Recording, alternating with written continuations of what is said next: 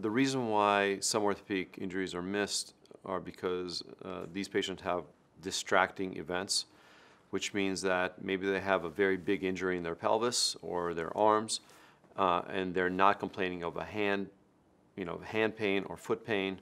Uh, so those can be missed. Those missed injuries are usually captured after the patient is awake, alert, oriented, and is able to tell us, you know, my hand hurts, my foot hurts, etc. And then we take x-rays or we get imaging of that location to see if it's fractured. The most common reason why patients have missed injuries uh, is because of what we call distracting injuries.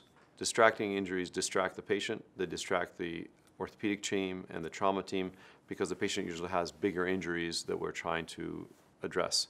And the smaller injuries sometimes we miss because the patients don't complain or we're not able to actually tell that they hurt there.